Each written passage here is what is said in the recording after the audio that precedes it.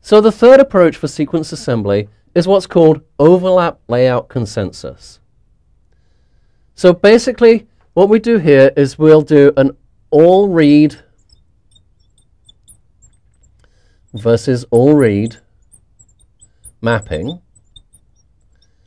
And very often we'll do that with short k-mers because it's quick to do that. And it tells us there's a connection, for example, between read 1 and read 5 and between read 5 and read 8. Once we've got an approximate mapping, we can generate a layout of exactly how we think the reads go together. And we call that an overlap graph.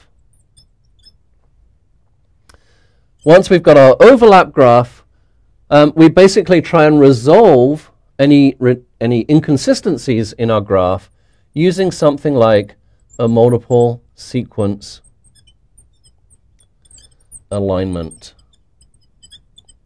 approach. Now, the overlap layout consensus approach is good, especially if you have longer reads. And there was a piece of software that you can still sometimes find around called Newbler that was released by Roche when they had the 454 sequencer. And Newbler worked on overlap layout consensus and generated quite strong and robust assemblies.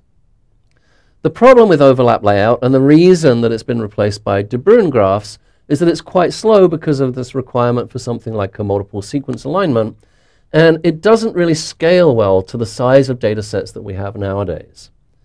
And so the last approach that we're using for sequence assembly is called a De Bruijn graph. And that's really where most of the modern DNA sequence assembly algorithms have ended up focusing kind of around the De Bruijn graph approach.